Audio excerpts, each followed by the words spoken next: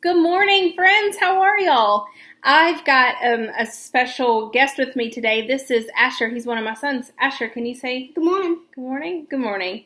Well, Asher, um, I often start these things with a question. Do you like to color? Uh, yeah. Yeah, yeah. We both love to color. Asher and I do. Um, now, when I was growing up, Asher, we had these kinds of coloring books. These really simple coloring books. They have the nice big bold lines and the big pictures. And I love I love these kinds of coloring books. Now when I got older, I learned all about adult coloring. And adult coloring was supposed to help adults to calm and de-stress, not feel so they were supposed to be relaxing. And for Miss Shelley, I went and bought one of these coloring books, and um, and I found that when I started coloring them, do you see all those details? Yeah. And those, let me show our friends. You see those details? There's like real intricate pictures. I did this for about 10 minutes, Asher, and I quit.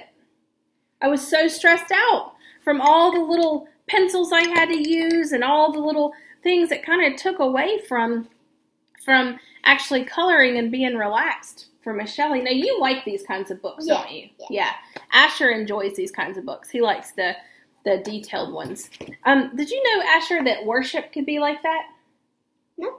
Yeah, worship can be about like a lot like that. Sometimes worship is um, really simple.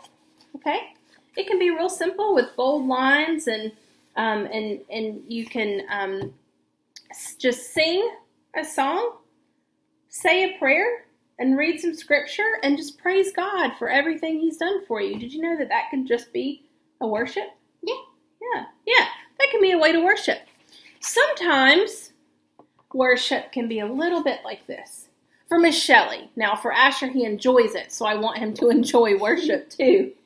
But for Miss Shelley, um, sometimes worship can be a lot like this, where it can be overwhelming and it can have a lot of little details and a lot of intricate parts.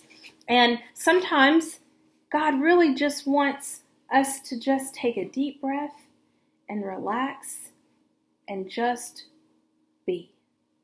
Worship with a song and with a prayer and with some scripture reading.